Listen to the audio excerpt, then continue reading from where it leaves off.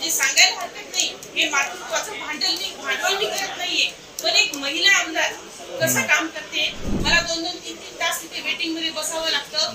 त्याच्यानंतर मी अक्षरशः चार चार सिग्नल पळत गेलेली होती ट्रॅफिक जाम होती. बाळाकडे माझं बाळ प्रचंड रडत होतं. ठीक आहे तुमच्या आमदारांना शंभर कोटी देताना आम्हाला दहा वीस पंचवीसच द्या. पण द्या. आम्हाला रिकाम्या हाती पाठवू नका. हीच माझी नम्रतेची विनंती राज्य सरकारला आहे. बसलो.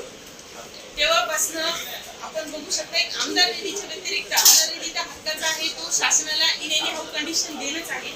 त्याच्या व्यतिरिक्त बजेट असेल पुरवणी मागण्या असतील तीस चोपन्न असेल त्याच्याबरोबर इतर जे काही पंचवीस पंधरा असेल हे छोट्या छोट्या ग्रामीण भागात विकास करण्यासाठीचे जे निधी उपलब्ध आहे जे हेड उपलब्ध आहे त्याच्यातून एकही रुपया मी राष्ट्रवादी काँग्रेस पक्षाची आमदार आहे एकही रुपया माझ्या मतदारसंघात आलेला नाहीये.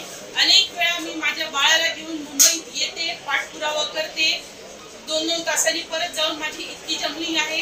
म्हणजे सांगायला हरकत नाही. हे मातृत्वाचं भांडवल मी भांडवल मी करत नाहीये. पण एक महिला आमदार कसं काम करते? मागे मलबार हिल्सला काही मंत्री महोदयांचे बंगले आहेत. संध्याकाळचे ट्रॅफिक आपल्या सर्वांना माहीत आहे. मी जर तिथे अडकले येता येता होतंय होतंय करता करता मला दोन दोन तीन तीन तास तिथे वेटिंगमध्ये बसावं लागतं. त्याच्यानंतर मी अक्षरशः चार चार सिग्नल पळत गेलेली होती. ट्रॅफिक जाम होती. बाळाकडे माझं बाळ प्रचंड रडत होतं. जर एक महिला आमदार छोटस बाळ घेऊन येत आहे माझी दया माया नका करू माझ्या प्रजेची करा माझ्या जनतेची करा माझ्या बाळाची नाही करायची नका करू. पण माझी एक विनंती आहे की मी पाठपुराव्याला कुठेच कमी पडत नाहीये.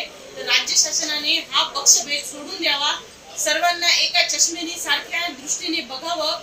आणि ठीक आहे तुमच्या आमदारांना शंभर कोटी देताना आम्हाला दहा वीस पंचवीसच द्या. पण द्या. आम्हाला रिकाम्या हाती पाठवू नका. हीच माझी नम्रतेची विनंती राज्य सरकारला आहे. आणि येत्या बजेटमध्ये असेल किंवा पंचवीस पंधरा असेल तीस चोपन्न असेल याच्या माध्यमातून छोटा छोटा निधी दिला तर आम्हाला ग्रामीण भागातले रस्ते असतील किंवा आवश्यक त्या ठिकाणी तो विकास करता येईल. जेणेकरून महाराष्ट्राचा विकास करताना फक्त शिंदेगड आणि भाजपचे आमदार यांच्याच मतदारसंघाचा विकास होणार नाही. हा सर्वसमावेशक असा विकास होईल याची दखल राज्य शासनाने घ्यावी आणि माझी ही नम्रतापूर्वक त्यांना विनंती आहे.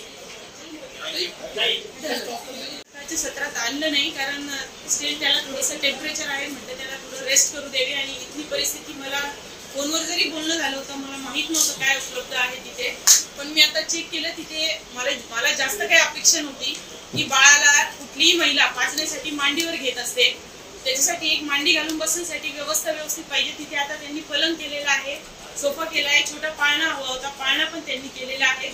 बऱ्याचशा सुविधा आहे पण मला ज्याची खरं दोनच गोष्टींची गरज होती की बाळाला झोपण्यासाठी आणि मला बसण्यासाठी व्यवस्थित बैठक पाहिजे होती आणि पाळण्याची व्यवस्था ती दोन्ही अतिशय चांगल्या प्रकारे केलेल्या शिंदे सरकारने करून दाखवलं असं म्हणता येईल का? का? मागच्या वेळेस केलं होतं. जर माझ्या मागणीला त्यांनी दाद दिली असती साथ दिली असती तर मला असं वाटतं कालच हा वेगळा इश्यू झाला नसता.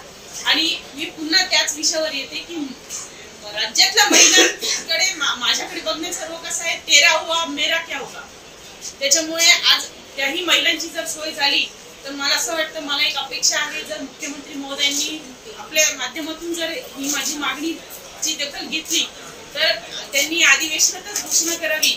की प्रत्येक जिल्हाधिकाऱ्यांनी किंवा त्या त्या संदर्भात त्या त्या विभागातल्या सर्व प्रशासकीय प्रमुखांनी जर आदेश पारित केले तर मला असं वाटतं की ह्याच अधिवेशनामध्ये येत्या मार्च मध्ये म्हणजे आठ मार्चला महिला दिन आहे त्या महिला दिनाच्या निमित्ताने सर्व महिलांसाठी ह्या राज्य शासनाकडून हे एक छोटस गिफ्ट होईल अशी मला अपेक्षा आहे.